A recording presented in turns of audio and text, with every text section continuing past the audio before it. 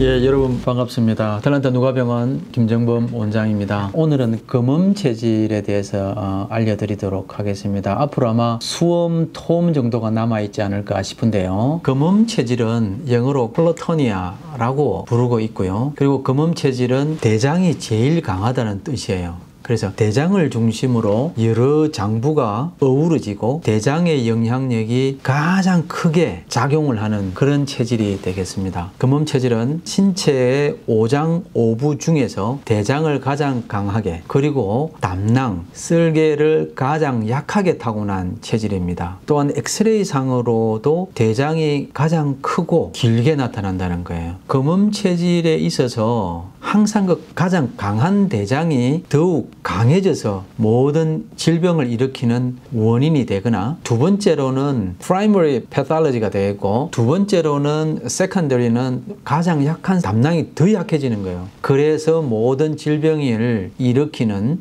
원인이 되는 체질이 바로 금음 체질이 되겠습니다. 강해진 대장과 약해진 담낭이 다른 장부의 기능을 그냥 믹스업시키는 거예요.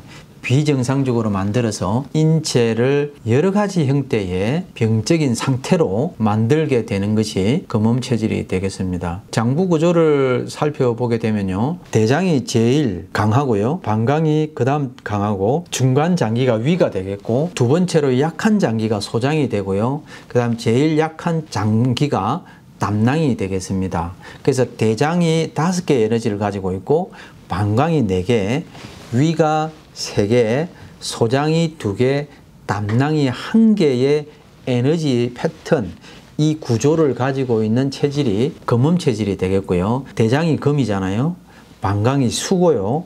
위는 토고요. 소장이 심이고 담낭이 목인데 금수 토심목으로 이 패턴을 가지고 있는 체질이 금음 체질이 되겠습니다. 금음 체질에 있어서 체형과 성정을 살펴보게 되면 금음 체질은 금양 체질보다 얼굴색이 좀 검은 편이에요. 팔 체질 중에서 가장 냉철하고 냉정하고 담대한 성품이에요.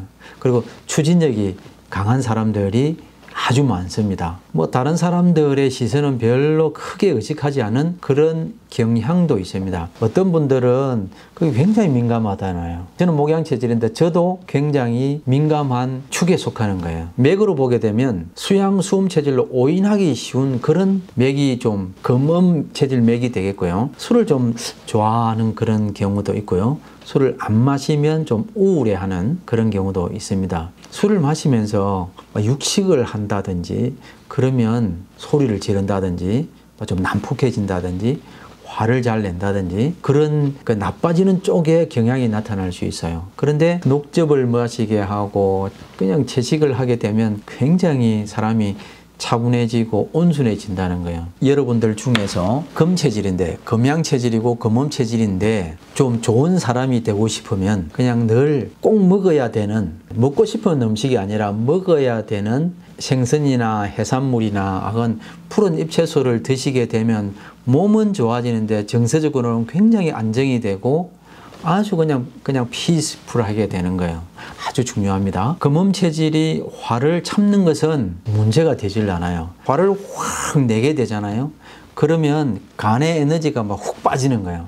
원래 약한데 그렇게 되면 건강에 아주 나쁜 영향을 줍니다. 부모의 체질에 따라서 이제 성격 차이가 좀 나는 거예요. 금음 체질 같은 경우에는 목양, 금음, 부모에서 태어난 금음 자녀는 좀 느린 그런 성향이 있고요. 금양, 금음, 토양, 금음 부모의 금음 체질은 좀 까다롭고 신경질적인 그런 성향으로도 나타날 수가 있어요. 그러니까 똑같은 금음 체질을 해도 fundamental하게 조금 다른 성향을 가질 수가 어, 성격적인 그런 성향을 다른 성향을 가질 수가 있고요. 물론 성장하면서 가정 환경적인 배경이라든지 또는 교육적인 배경을 통해서 우리가 많이 여러 가지 variation, 여러 가지 어떤 그 캐릭터를 가질 수는 있지만 경향성을 가지고 있고요. 직업으로는 이게 세상에 대한 그 통찰력이 직관력이라든지 이런 것들이 굉장히 좋은 거예요.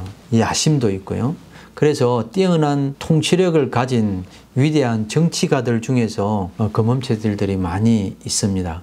근데 이분들이 뭐 날이면 날마다 고기를 먹잖아요. 그럼 폭군으로 변할 수도 있어요. 검음 체질은 창의력이 굉장히 뛰어나서 피카소 뭐 추정하기로는 이런 분들이 검음 체질이 아니었을까 싶은 생각이 들기도 하는데 아무튼 쉽게 흥분되지 않는 강한 심장을 가지고 있어요. 참고해 주시고요. 기가 밝아서 의학의 소질이 있다고 어, 얘기를 하고 있는데 제가 봐도 금음 체질은 대체적으로 의학의 소질이 좀 있는 것 같아요. 어, 직업은 이런 체질적 성향이 잘 맞는 직업으로는 뭐 정치가라든지 군인이라든지 화가 이런 직업들이 좀 맞지 않을까. 물론 뭐 다른 여타의 직업들도 많이 있을 수가 있습니다만 그렇게 한번 어, 직업에 대해서는 언급을 간단히 드리고요. 결혼 상대로는 금음 체질에 있어서 가장 이상적인 그 커플은 첫 번째로 모금 체질, 토양, 목양 순으로 좋습니다. 뭐 이상한 게 아니라 금음 체질의 에너지 구조와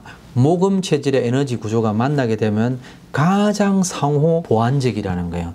이 두 사람이 가만히 있게 되면 서로 가장 편안함을 느끼게 됩니다. 그리고 가장 조화롭기 때문에 이 두 체질이 만나서 물론 결혼을 하게 되면 기본적으로 굉장히 좋은데 사람이라는 것은 항상 욕심도 있고 감정도 있고 아침의 기분과 저녁의 기분이 다르기 때문에 뭐늘 이럴 수 있지만 기본적으로는 펀디멘탈하게는 좋습니다. 저희 아이 중에 모금 체질의 아들이 있는데 이 친구가 결혼을 약속한 친구가 있는데 그 친구는 금음 체질이에요.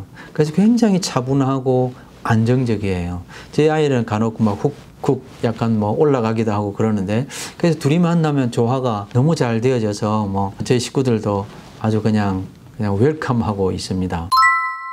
유전적인 질병이라든 이런 부분을 잠시 보게 되면 부모가 모두 검음 체질인 경우에는 건무력증, 머슬 디스트로피라고 그러죠. 이런 아이들이 생겨날 수가 있습니다. 검음 체질은 모든 약이 별로 효과가 좀 덜합니다. 그리고 이제 일광욕이라든지 사우나 같은 거 지나치게 땀을 내는 것도 좋지 않고요.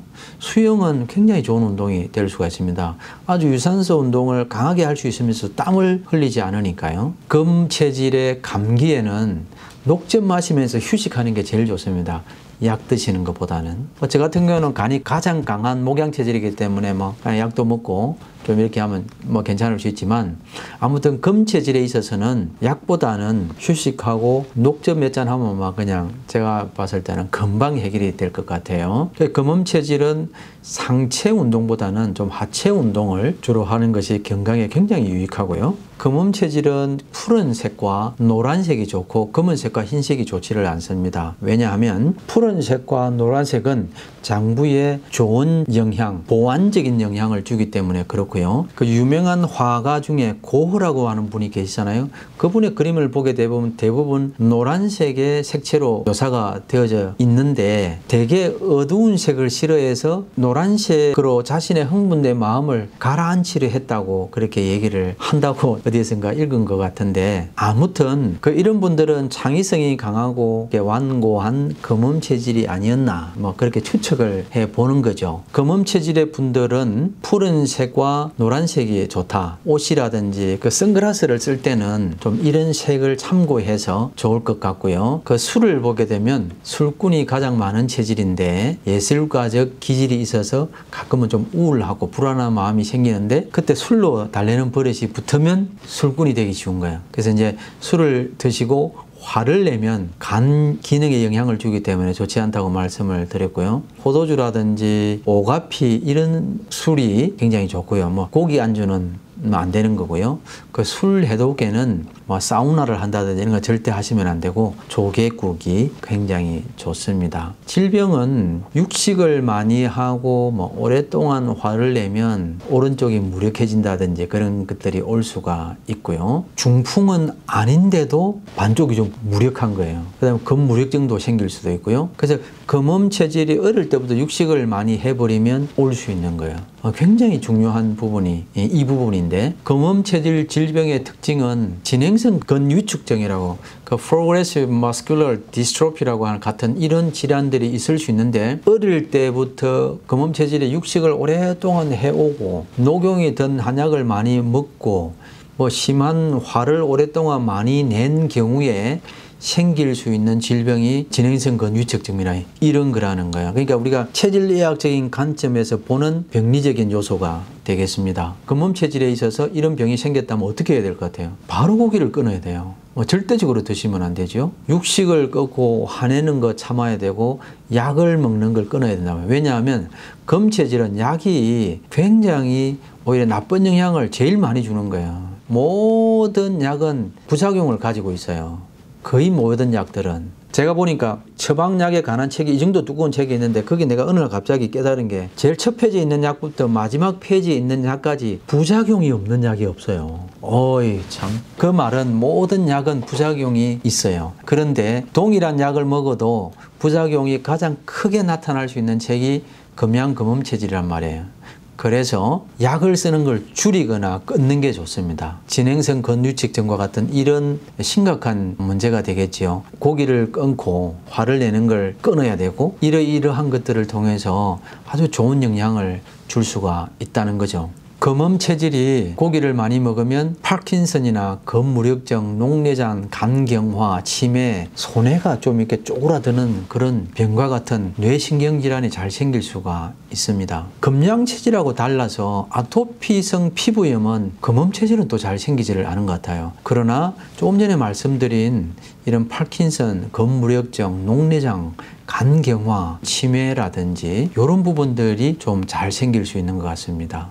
그러니까 코 질환이 많은데 그 중에서 특별히 알러지로 인해서 콧물이 나고 가렵고 이런 것들이 많고요. 그런데 육식을 금하는 것만으로도 물론 좀 더 디테일하게 말씀드리면 뭐 밀가루라든지 이런 것도 포함이 되겠지만 그것만으로도 굉장히 도움이 되는 겁니다. 소아의 경우에 발열에 관장을 시키면 열이 내려가죠. 금음 체질이 열 감기 또는 아이가 우유를 먹고 뭐 구내염이나 중이염에 걸렸을 때 항생제를 쓰면 이명과 난청이 올 수 있는데 금음 몸 체질이 우유를 먹고 감기에 걸린다든지 그러면 코병이나 기병에 잘 걸린다는 게요. 그래서 이런 경우에는 금체질에는 뭐 우유라든지 고기라든지 이게 굉장히 해롭잖아요. 그날로 끊는 거예요. 그리고 녹즙을 먹인다든지 이런 걸 통해서 굉장히 좋아지게 할 수가 있습니다.